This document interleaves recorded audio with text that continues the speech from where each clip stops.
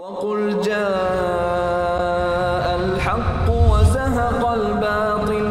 إن الباطل كان زهوقا. الله أكبر الله أكبر. بسم الله الرحمن الرحيم والحمد لله رب العالمين والصلاة والسلام على أشرف الأنبياء والمرسلين ومن تبعهم بإحسان إلى يوم الدين أما بعد ناظرین کرام پیش خدمت ہے ہجرت کے اسباق اور اس کے دروس۔ ہجرت مقدسہ کے اس عظیم عمل میں کثیر تعداد میں عبرتیں ہیں، متعدد نصیحتیں اور معدتیں ہیں۔ جن کی طرف نہ صرف یہ کہ خصوصی توجہ دینی چاہیے، بلکہ ان سے بھرپور استفادہ بھی کرنا چاہیے اور اپنے ایمان کو ان سے تازگی بخشنی چاہیے۔ ہم ہجرت مقدسہ سے حاصل شدہ نصائح، دروس، عبرتیں اور اسباق یہاں بیان کر رہے ہیں۔ سب سے پہلا سبق تو یہ ہے کہ اگر اللہ تبارک تعالیٰ کی خاطر کچھ چیزیں ترک کرتا ہے، چھوڑتا ہے، تو اللہ تبارک تعالیٰ اس سے کئی گنا بہتر بدلہ دیتا ہے۔ مہاجرین نے اپنے گھر بار چھوڑے، مال و دولت تج دیا اور منصب اور بہت ساری چیزیں چھوڑ کے چلے آئے۔ اپنا محبوب ترین مال چھوڑ دیا، اس کی قربانی دے دی۔ تو اللہ تبارک تعالیٰ نے دنیا کے دہانے ان پر کھول دیے اور مشرق و مغرب کا انہیں بادشاہ بنا دیا۔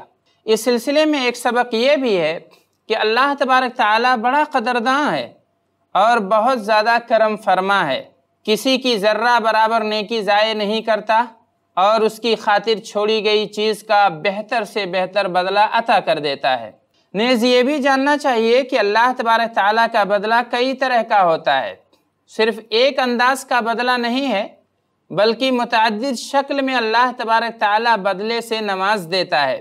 ان میں سے بہتر بدلہ تو یہ بھی ہے کہ اللہ تبارک تعالیٰ کی محبت نصیب ہو جائے اور اس کی یاد سے دل بے چین ہو جائے۔ چنانچہ مسلمانوں کو زیبا ہے کہ اللہ کی راہ میں قربانی دیں اور بہرحال اپنی پسند پر اللہ کی پسند کو مقدم کریں، تاکہ دنیا و آخرت کی بھلائی سے سرفراز ہو سکیں۔ ہجرت کا ایک اہم فائدہ یہ بھی ہے کہ اسلامی سماج کی تشکیل کیسے دی جائے، کیونکہ مدینہ میں وقوع پذیر احکام، عدالتی نظام اور سیاسی اصول سب کے سب ہجرت نبوی ہی کی دین ہیں۔ جب مسلمان اکثریت میں آ گئے تو انہوں نے معاشرتی اصول و ضوابط کو قوت و حکمت کے ساتھ نافذ کیا۔ اور لوگوں نے اسے محسوس کیا، اسے دیکھا اور اسے برتا بھی۔ فرض کریں کہ اگر وہی کا آخری دور دور اول ہی کی طرح ہوتا، تو اسلام عقائد و اخلاق اور چند عبادات سے تجاوز نہ کر پاتا۔ لیکن ہجرت ہی سے اسلام کو یہ موقع میسر آیا کہ اس کی ایک طاقتور حکومت ہو۔ ایک پر اثر آواز ہو اور اللہ کے دین کا علم بلند کرے، اس کے قوانین نافذ کرے، دشمنوں کو زیر کرے اور شریعت اسلامیہ کی پاسداری کرے تاکہ لوگ امن و چین اور عزت کی زندگی بسر کر سکیں۔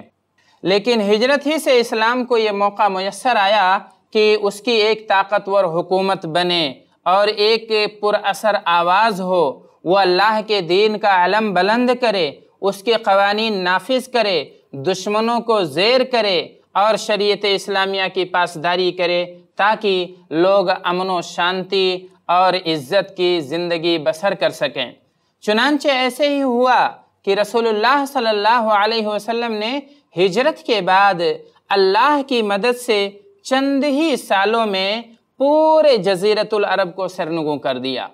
لوگ اپنے تمام تر معاملات میں فرامین الہی کے پابند ہو گئے، پرعظمت حکمتوں سے نفوس کو جلا ملی، عدل و انصاف پسند سیاست حاصل ہوئی اور خوشگوار زندگی لوگوں کو میسر آ گئی۔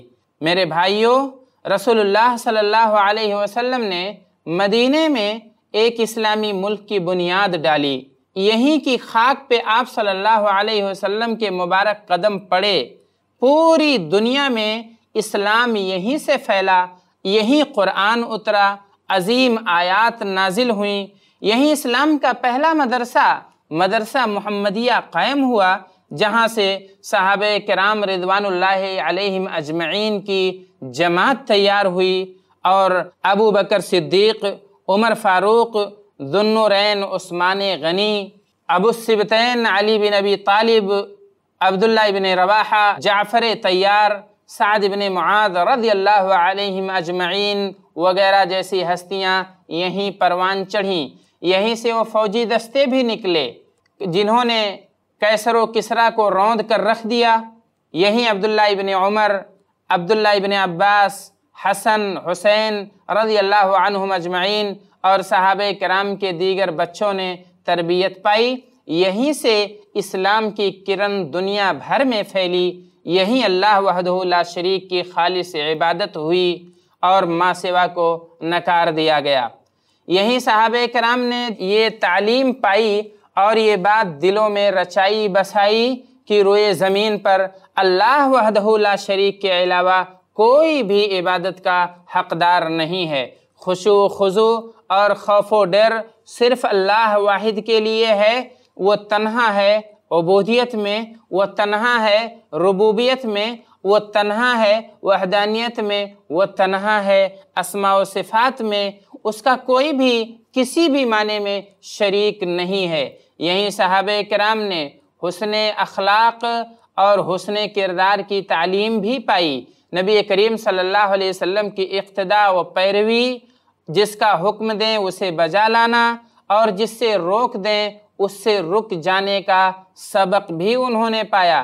جیسا کہ اللہ تبارک تعالیٰ کا ارشاد ہے، وما آتاکم الرسول فخذو وما نہاکم عنہ فانتہو سورہ حشر، آیت نمبر سات۔ رسول اللہ صلی اللہ علیہ وسلم جو تمہیں دیں، اسے لے لو اور جس سے روکیں، اس سے باز آ جاؤ۔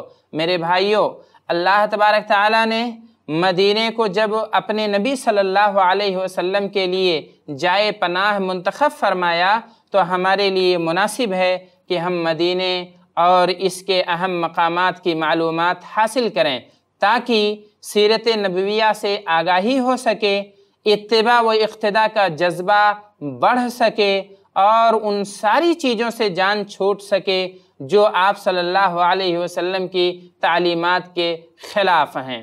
اب ان چند تمہیدی باتوں کے بعد انشاءاللہ ہم مدینہ منورہ کی کچھ نمایاں مقامات کی زیارت کریں گے اور ناظرین کو دنیا کے اس قدیم ترین شہر میں لے جائیں گے جو اپنی پاکیزگی و قداست، تاریخ کی گہرائی، عادات و تقالید کی گیرائی اور قوت تاثیر سے مالا مال ہے، جو کئی ایک پرتاثیر معنوی صفات کا حامل ہے۔ جن سے یہاں کا ہر باشندہ مانوس ہو جاتا ہے، اس کا کلیجہ ٹھنڈا ہو جاتا ہے اور اس کی روح کو قرار آ جاتا ہے۔ اسی شہر کی پاکیزہ و زرخیز مٹی پہ اسلامی تہذیب کا پودا اگا ہے۔ اسی کے فیض سے دنیا معتدل اسلامی احکامات سے آشنا ہوئی ہے۔ اور ہر زمانے میں نبی صلی اللہ علیہ وسلم کی سیرت طیبہ، صحابہ کرام اور ان کے متبعین کے کارناموں سے بہراور ہوتی رہی ہے۔ جب سے آپ صلی اللہ علیہ وسلم ہجرت کر کے مدینے آئے، تبھی سے مدینہ مومنوں کے دلوں کا گہوارہ بن گیا۔ دنیا بھر سے لوگ یہاں آنے لگے تاکہ اپنی قیمتی اوقات مسجد نبی میں گزار سکیں اور رسول اللہ صلی اللہ علیہ وسلم پر سلام کا شرف حاصل کر سکیں۔ قرآن و احادیث میں مدینہ منورہ کی اتنی متنوع فضیلتیں ہیں جو کسی اور شہر کے لیے نہیں ہیں۔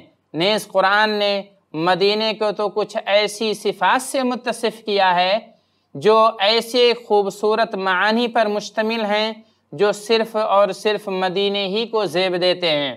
انہی میں سے اللہ تبارک تعالیٰ کا یہ فرمان ہے، وَالَّذِينَ تَبَوَّأُ الدَّارَ وَالْإِيمَانَ مِن قَبْلِهِمْ۔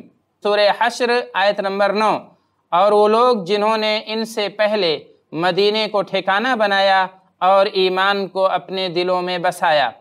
مفسرین کی ایک جماعت سے وارد ہے کہ اللہ تعالیٰ کے اس قول علم تکن ارض اللہ واسعتا فتحاجروا فیہا سورہ نساء، آیت نمبر ستانوے۔ کیا اللہ کی زمین کشادہ نہیں تھی کہ تم وہاں ہجرت کر جاتے؟ اس سے مراد مفسرین کہتے ہیں کہ مدینہ منورہ ہے۔ اور اسی طریقے سے کما اخرج کا رب کا ممبئی تھی کا بالحق سور انفال، آیت نمبر پانچ، کہ جیسے آپ کے رب نے آپ کو آپ کے گھر سے نکالا، اس کی بھی تفسیر میں مفسرین نے کہا ہے کہ آپ صلی اللہ علیہ وسلم کے گھر سے مراد مدینہ منورہ ہے۔ کیونکہ مدینہ جائے ہجرت ہے اور آپ صلی اللہ علیہ وسلم کا مسکن بھی ہے۔ چنانچہ آپ صلی اللہ علیہ وسلم کے ساتھ مدینہ کی ویسے ہی تخصیص ہے، جس طرح سے گھر کی تخصیص اس کے رہنے والے کے ساتھ ہوتی ہے۔ ناظرین اب آئیے دیکھتے ہیں مدینہ منورہ سے متعلق کچھ فضائل، احادیث کی روشنی میں۔ مدینہ میں وفات پانے والے کے لیے نبی کریم صلی اللہ علیہ وسلم کی شفاعت ثابت ہے۔ حضرت ابو حریرہ رضی اللہ عنہ کی روایت ہے۔ وہ کہتے ہیں کہ آپ صلی اللہ علیہ وسلم نے فرمایا من استطاع منکم ان يموت بالمدینة فلیمت فیہا فإنی اشفع لمن مات بها جس سے ہو سکے کہ مدینہ میں مرے تو اسے مدینہ میں مرنا چاہیے۔ اس لیے کہ یہاں مرنے والے کے لیے میں شفاعت کروں گا۔ امام ترمیجی نے اسے روایت کیا ہے اور اسے انہوں نے صحیح قرار دیا ہے۔ مدینہ میں قیام اور رہائش کی ترغیب بھی ثابت ہے نبی کریم صلی اللہ علیہ وسلم سے۔ ابو حریرہ رضی اللہ عنہ سے مروی ہے کہ آپ صلی اللہ علیہ وسلم نے فرمایا کہ ایک زمانہ ایسا آئے گا کہ آدمی اپنے چچا زاد اور اقربا و رشتہ داروں کو دنیاوی عیش و عشرت کی دعوت دے گا یعنی اس کے لیے اسے مدینے سے باہر نکلنے کی ترغیب دے گا۔ حالانکہ اگر وہ سمجھیں تو مدینہ ان کے لیے بہت بہتر ہے۔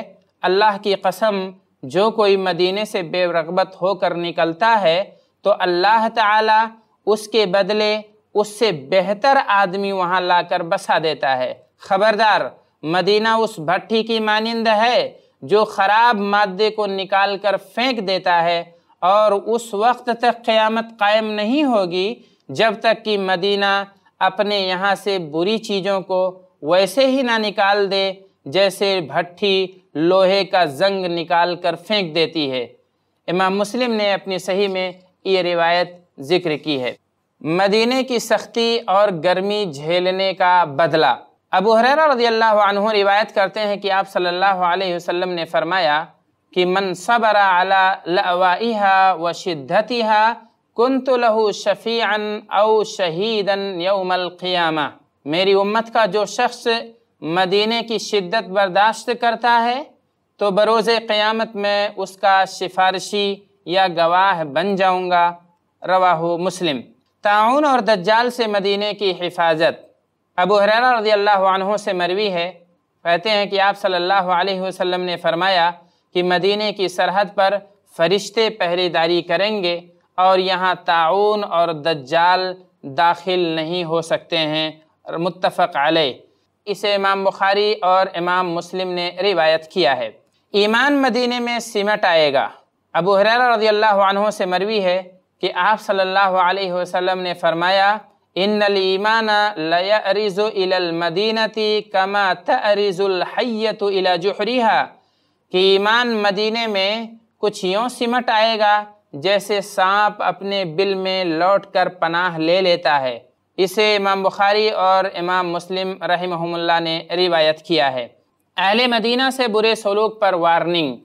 آپ صلی اللہ علیہ وسلم نے فرمایا کہ جو کوئی اہل مدینہ کے خلاف سازش کرے گا تو وہ ایسے گھل جائے گا جیسے نمک پانی میں گھل جاتا ہے۔ امام بخاری اور امام مسلم نے اسے روایت کیا ہے۔ جابر بن عبداللہ رضی اللہ عنہ سے مروی ہے۔ وہ کہتے ہیں کہ میں نے رسول اللہ صلی اللہ علیہ وسلم کو فرماتے ہوئے سنا کہ جس نے اہل مدینہ کو دھمکایا، خوف زدہ کیا، تو اس پر اللہ، فرشتوں اور سارے لوگوں کی لعنت ہو۔ اللہ اس کی نفل اور فرد عبادت قبول نہیں کرتا ہے۔ جس نے اسے ڈرایا، تو اس نے ان دونوں کے بیچ والی چیز کو ڈرایا ہے۔ اور آپ صلی اللہ علیہ وسلم نے دونوں پہلو کے درمیان اشارہ فرمایا۔ ابن ابی شیبہ نے مصنف میں اس روایت کو ذکر کیا ہے۔ مدینہ اپنی خباستیں دور کرتا ہے۔ ابو حریرہ رضی اللہ عنہ سے مروی ہے کہ آپ صلی اللہ علیہ وسلم نے فرمایا کہ مجھے ایک ایسے گاؤں کی طرف ہجرت کا حکم دیا گیا جو بستیوں کو کھا جاتا ہے۔ لوگ اسے یسرب کہتے ہیں اور وہ مدینہ ہے۔ جو خراب لوگوں کو ایسے ہی باہر نکال پھینکتا ہے جیسے بھٹی لوہے کا زنگ باہر پھینک دیتی ہے۔ امام بخاری اور امام مسلم نے یہ روایت ذکر کی ہے۔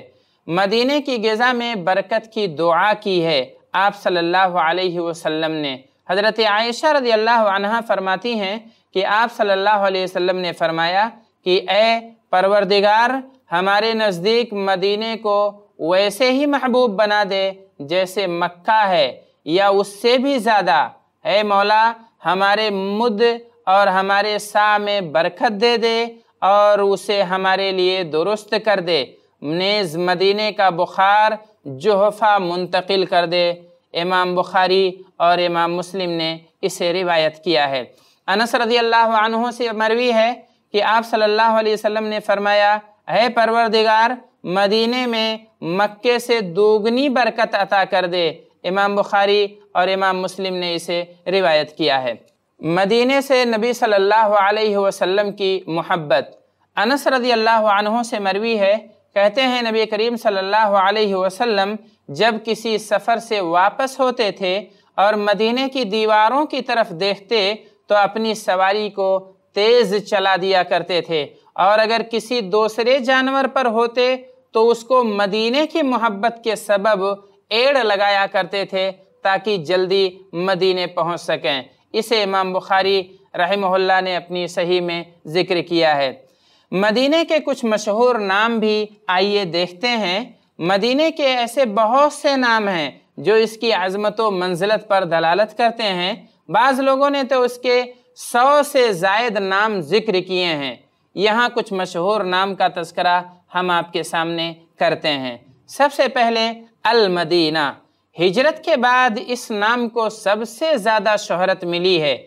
قرآن و حدیث میں کئی دفعہ اس کا ذکر آیا ہے۔ اللہ تبارک تعالیٰ نے بھی فرمایا، ما كان لأهل المدينة ومن حولهم من الأعراب أن يتخلفوا عن رسول الله سورہ توبہ، آیت نمبر 120 رسول اللہ صلی اللہ علیہ وسلم نے فرمایا اللہم حبب الینا المدینہ كحبنا لمکہ او اشد حبا اے اللہ تو مدینہ کی محبت ہمارے دلوں میں مکے ہی کی طرح یا اس سے کچھ زیادہ عطا کر دے مدینہ کا دوسرا نام تابہ اور طیبہ بھی ہے تابہ اور طیبہ ان دونوں ناموں کا ذکر احادیث میں کئی بار آیا ہے فاطمہ بنت قیس رضی اللہ عنہ کی روایت ہے کہ نبی کریم صلی اللہ علیہ وسلم نے مدینہ کا ذکر کرتے ہوئے فرمایا، یہ طیبہ ہے، یہ طیبہ ہے، یہ طیبہ ہے۔ رواہ مسلم۔ ابو حمید رضی اللہ عنہ سے مروی ہے کہ نبی کریم صلی اللہ علیہ وسلم کے ہمراہ ہم تبوک سے واپس آ رہے تھے۔ یہاں تک کہ ہم نے جب مدینہ دیکھا تو آپ صلی اللہ علیہ وسلم نے فرمایا ہادہی تابہ ہادہی تابہ یہ تابہ ہے یہ تابہ ہے، متفق علیہ۔ مدینہ کا اگلا نام الدار والایمان بھی ہے۔ اس آیت میں یہ دونوں نام مذکور ہیں۔ والذین تبوؤوا الدار والایمان، سورہ حشر، آیت نمبر نو۔ اور اس کا ایک نام الدرع الحسینہ بھی ہے۔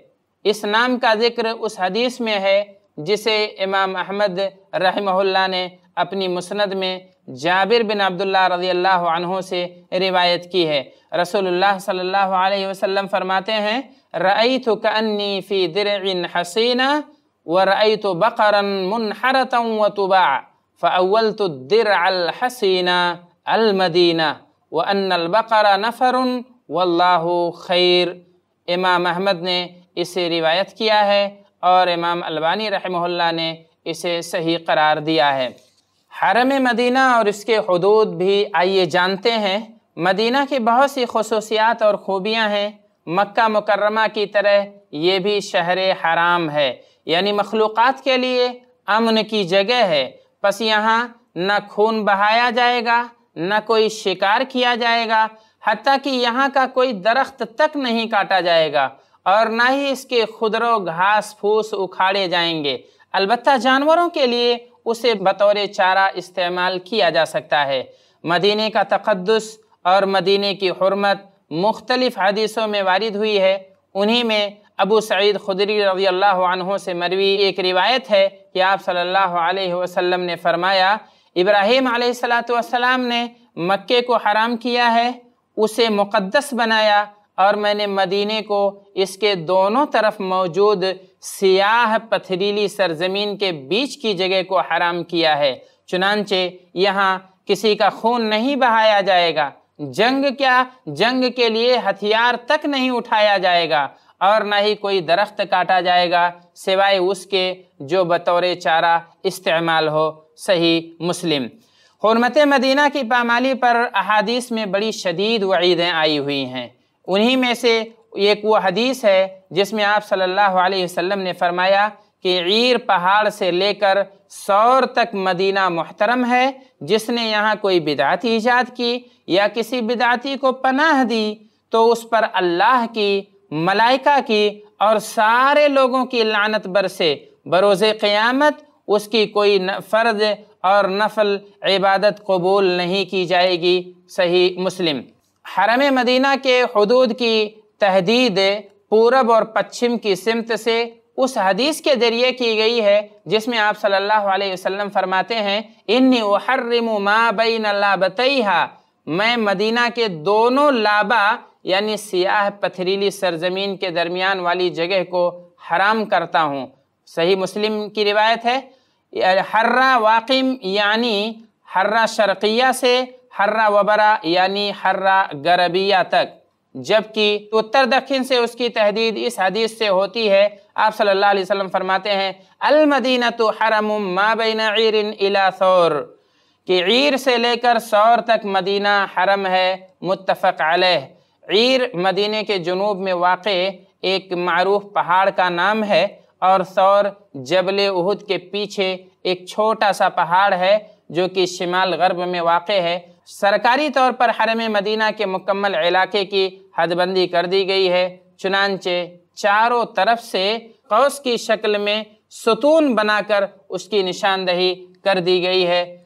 اب ہمارا یہ وقت یہاں پورا ہوتا ہے۔ انشاءاللہ اگلی ملاقات میں ہم لے کر حاضر ہوں گے۔ مدینہ منورہ کی کچھ مشہور مقامات کا ذکر آپ کے سامنے آئے گا۔